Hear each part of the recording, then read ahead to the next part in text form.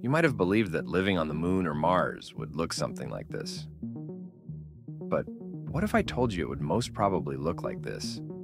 See that thing in between? Sounds familiar, right? Well, it's something that might be growing in your garden right now. Mushrooms.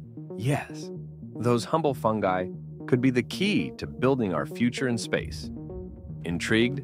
Let's dive into how these incredible organisms might just be our ticket to living on other planets.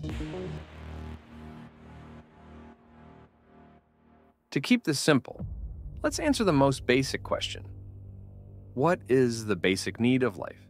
Well, wherever we go, we need three essential things to survive shelter, food, and a sustainable environment.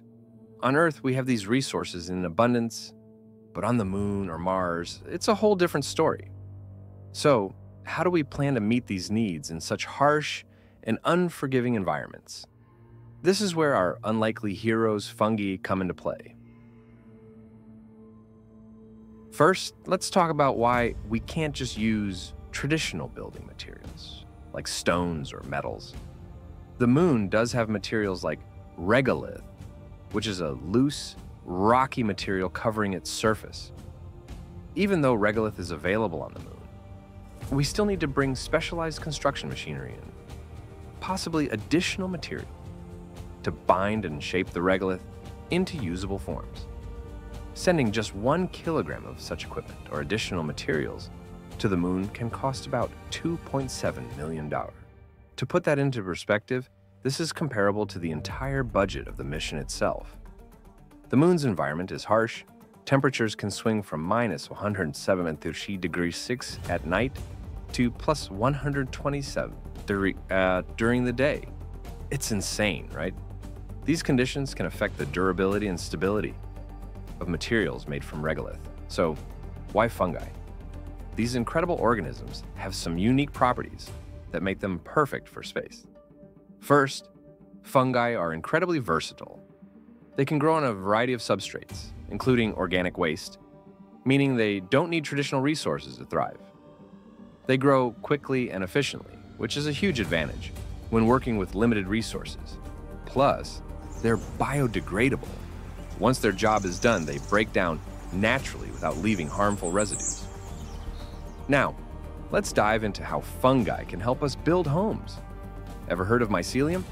It's the vegetative part of fungi, forming a dense network of tiny threads.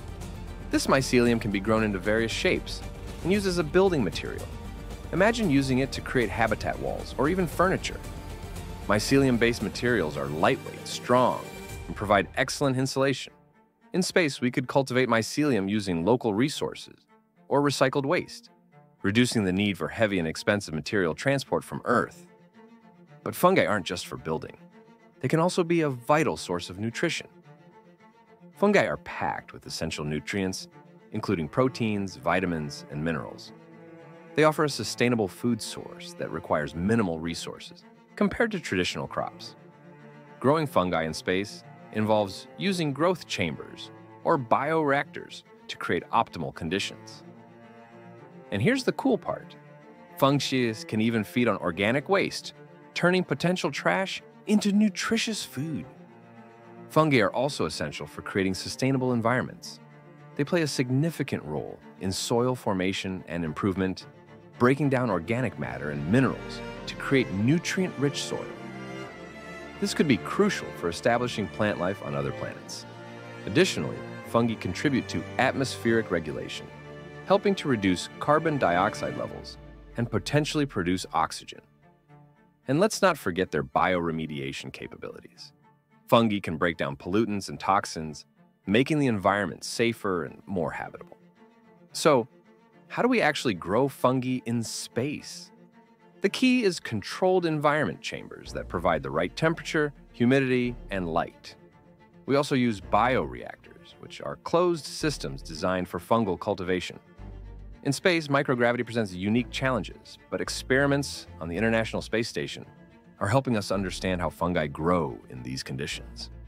This research is vital for optimizing fungal cultivation in future space missions. Current research shows the amazing potential of fungi in space on the ISS, scientists are studying how fungi grow without gravity. NASA's Veggie experiment is exploring how plants and fungi can grow together, helping us understand space farming.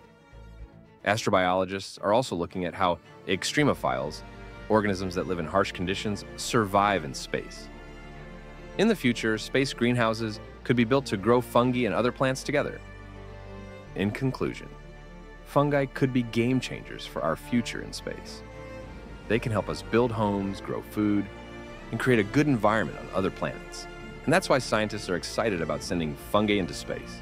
If you're fascinated by how fungi could change our future in space, you're going to love our next video.